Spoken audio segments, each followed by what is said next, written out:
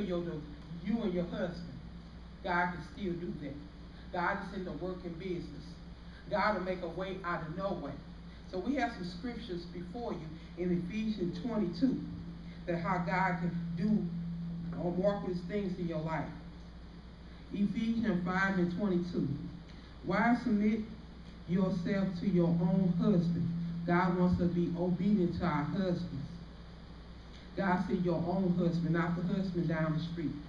He wants you to submit to your husband as you do to the Lord. Verse 23. For the husband is the head of the wife. Our husband is the head of us, but God placed him as the head of us. You saying to me, that's what you're saying? My husband is the head of me? He can't do this and he can't do that? Evidently, God knows He the one put him the head of you. Of the wife, as Christ is the head of the church, his, his body. So God is the head of the church. So God is knowing what he is doing when he placed your husband the head of you. And God is the head of all of us. Our husband and our us and the whole body. Of which he is the Savior. So God is our Savior. So we're supposed to obey him to have rule over us and keep his commandments. Let's go to verse 24. Now as the church submit to Christ, so also wives should submit that again, obey. Submit means obey to their husbands in everything. God wants, if He tell us to go down the street and get a piece of mail out the mailbox, then we have to do that. If He telling us to go down the street to go to the store, God wants us to do this, that. If He's saying, baby, get my socks out of the drawer, that we would do that and go get the socks out drawer, not telling Him, you go do it. God's not pleased with that. If you want to be blessed by God, because we're doing these things unto God, then God is telling us to do these things, and we got to obey our husband and not cause him trouble.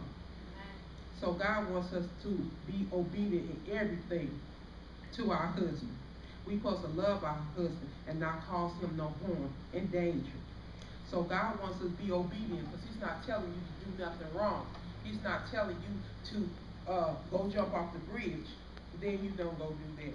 But if he's telling you to do everything, you do everything that he asks you to do. If he's telling you, go make my breakfast, baby, it's no harm done. Go make your husband breakfast. If he's telling you, baby, I need some orange juice.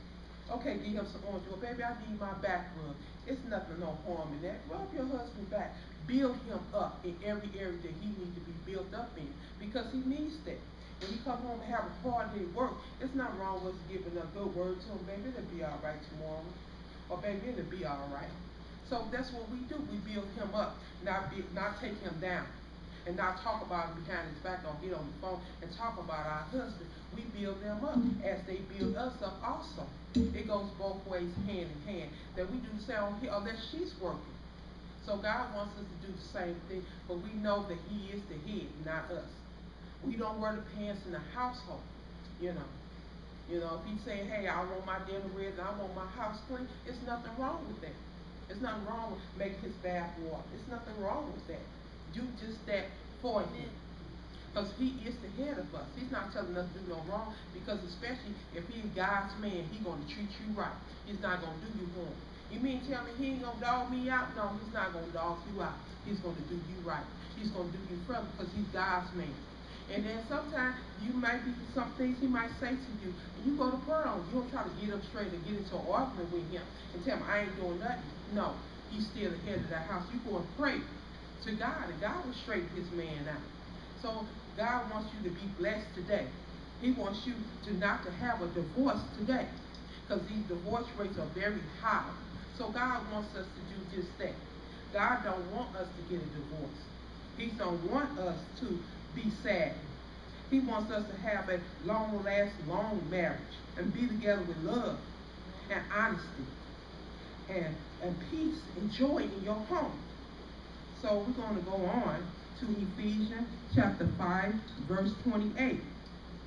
In these same ways, husbands are to love their wives. So he, they are to love you as their own bodies. You mean to tell me because he going to love his own body, so he going to love you. Because he going to wash his body. He going to put lotion on his body. He gonna keep everything clean and everything up. So he gonna treat you the same thing. He's gonna wash you. He gonna love you. He gonna keep you up. And he's gonna care for you just like he cares for his own body. And he's gonna love you like an unlasting love. And it says here, he who loves his wife love himself. He's gonna if he loves himself, he's gonna love you. Because he's gonna treat himself right, so he's gonna treat you right. If he gonna go to the store and get himself some flowers, he gonna bring you back some flowers. If he go to the store and get himself some donuts, he gonna bring you some donuts too.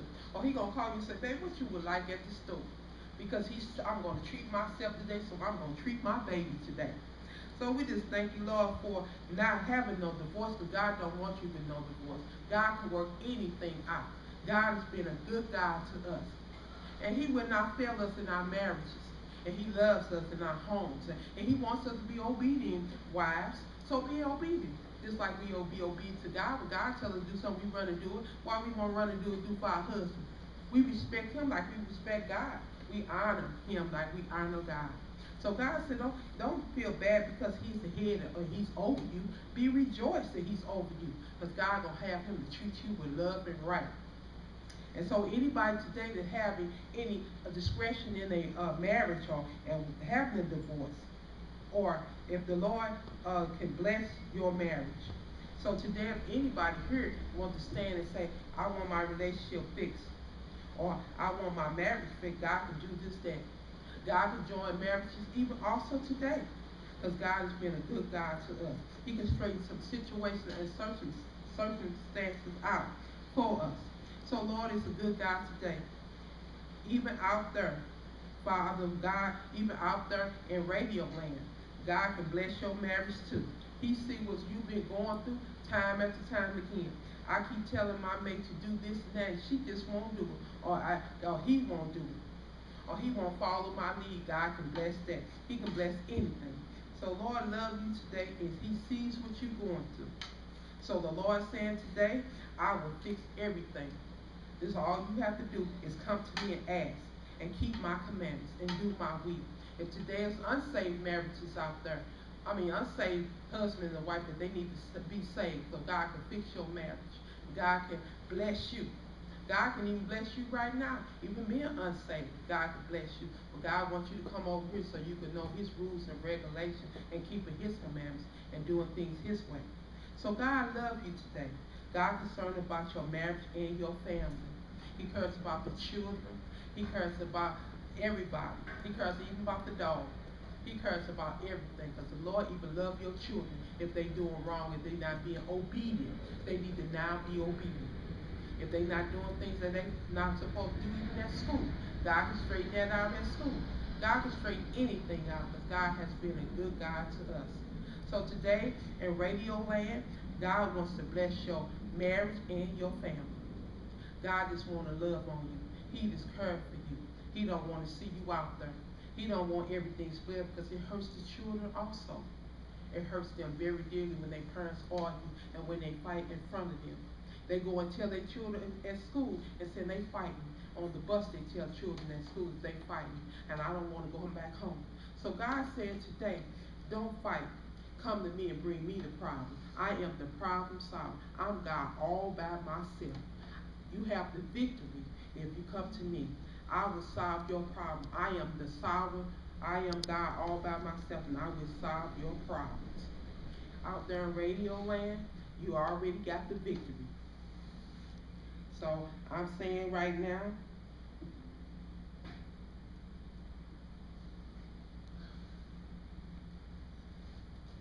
So anybody here that just want to give their lives over to God today, God is able. If you don't have no marriage problems or any situation that you are having today, God is here. Or you just need a little prayer. You just need a little more Jesus. He's here for that also.